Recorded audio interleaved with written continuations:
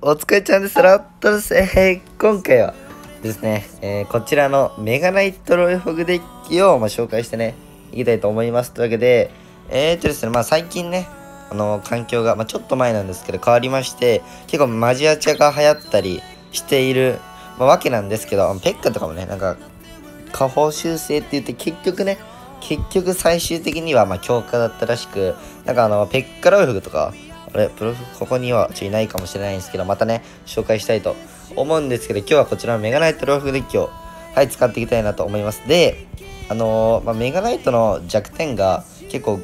ゴレとか、あの、ロイジャイなんですけど、タルババが下放されたことによって、あのロイジャイプラスのタルババがすごい強かったんで、あれですね。もうロイジャイが今全くいないです。全くいいないので、えーメガナイトが強い。そして、あのーなんだ、ゴボリがそう、このデッキに入ってるんで、ゴボリがあの、ゴレとかね、陸受けに、陸に対してあの、めちゃくちゃ強いんですよね。誘導できて、さらにはそのまま防衛としてね、あの、ゴブリンが中から出てきて殴ってくれるんで、メガナイトプラスのゴボリの編成で空をね、多めにすると結構何にでも、何にでも戦えちゃうっていうので、このデッキはすごい、まあ、使いやすくて強くて、あと、あの、グラチャレとかのね、なんか使用率とかのすごい今トップ2ぐらいのね、人気を誇っています。というわけで、相手はクロスですね。これは多分テスラクロスですね。これもあの、流行ってますね。マジで。あは、これは、これは美味しい。さては、これあのメガナイトでも、相手このテスラで本当はマジアチ処理しようとしてたんですけど、処理できなかったっぽくて、多分このマジアチが相手はすごい厄介だと思うんですよね。あ、ペッカーやばい、これは、あの、予想外ですね。マジで。メガナイトが一番苦しいのは、まあそうですね、ペッカですね。単純に1対1でこの戦い合った時に勝てないっていうのが、まあなんですけど、えぐい、えぐいって。ちょっと待って。これはね、ペッカクロスはね、ちょっと難しいですね。このペッカが、あの、厄介ですね。なんで、一回ペッカ処理してから、クロスを殴りたいですね。こんな感じでゴボリが、いい感じに活躍してくれますね。マジで。おぶねえおぶねえ俺に言うの優秀。オッケーオッケーオッケー。で、まあね、ダメージ受けたんですけど、あと600まで耐えてるんで、この600耐えつつ、相手はテスラクロスのペッカ版、なんか、えぐいデッキなんですけど、まあまあまあ、これしっかりね、買っていきたいと思いますね。で、1個取っちまえば、僕らが有利なことには変わりないので、よいしょ。まあ、できるだけこの右サイドか、まあ、左サイドでもいいんですけど、1個取りたいと思います。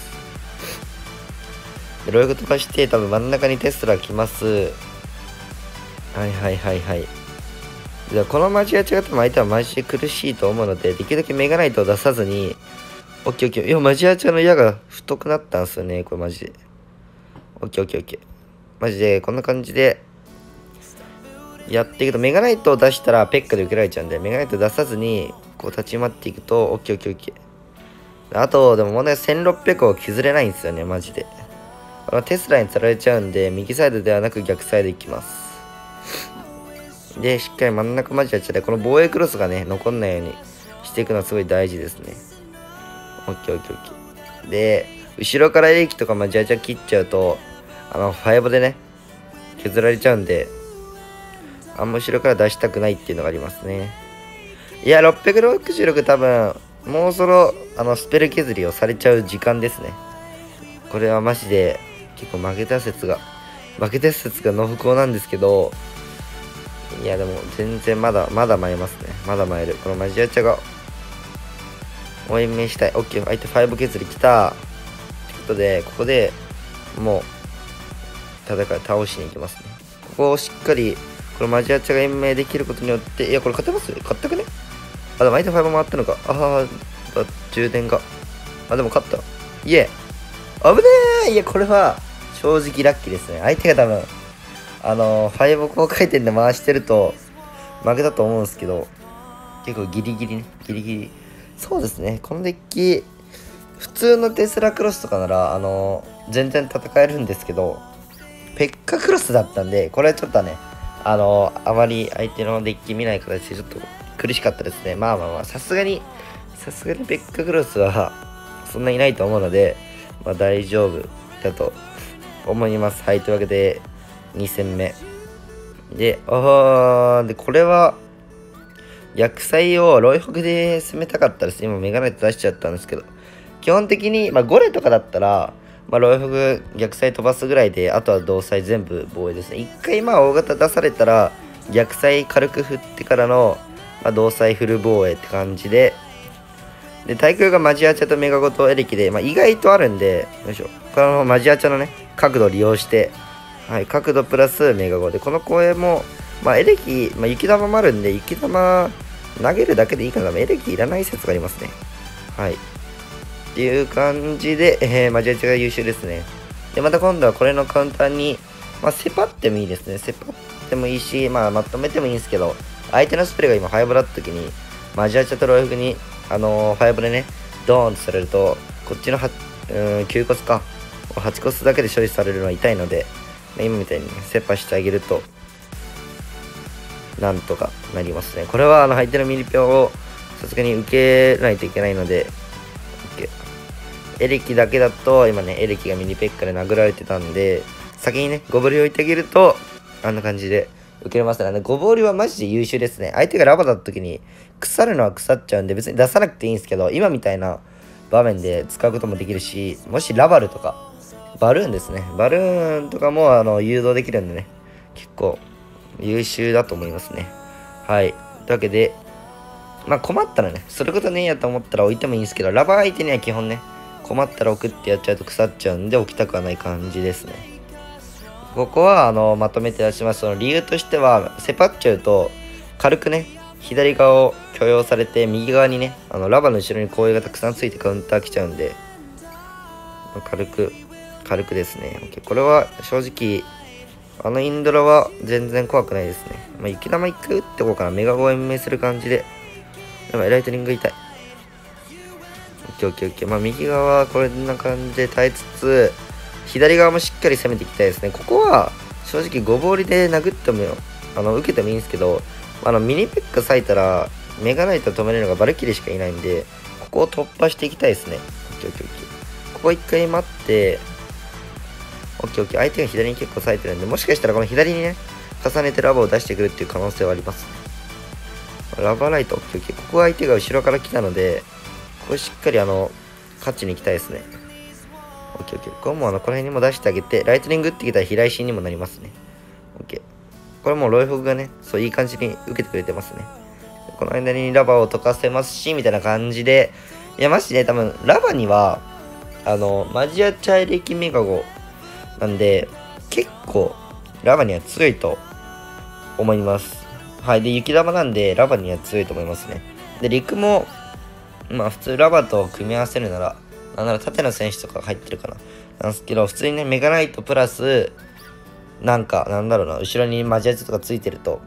それはそれで相手防衛しにくいと思うので。で、も基本多分ラバとかだったらファイバーが多いかな、ポイズンとか。なんで、しっかりエレキとマジアチェとかの位置を近くに出さないように、あの、離れた位置に出してあげると、ファイブとかポイズンでね、同時に処理されないので、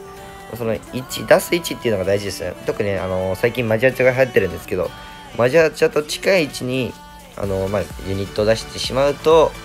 あの一つのスペルスペルスペルですね スペルで同時に処理されてしまうのでそこだけ気をつけたいですね。というわけで 後ろからまあ相手に合わせて出していきます。でここもねまあまあ